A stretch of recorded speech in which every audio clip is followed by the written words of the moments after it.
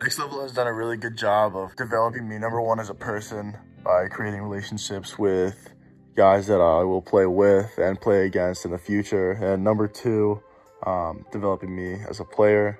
The resources at Next Level, uh, from the coaching staff to the indoor facility to the competition on the field, uh, have really allowed me to excel and can allow any player to excel, uh, both in the high school and collegiate stage if they're willing to put the time and work in.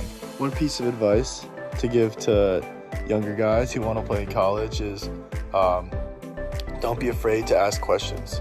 Uh, you know, I've learned a lot from my coaches over my time at Next Level, but I've also learned a lot from my teammates. If I see someone with maybe a faster change of direction or a really good shot on the run, um, you know, I'm willing to ask them what they're doing and see if that'll help me become a better player.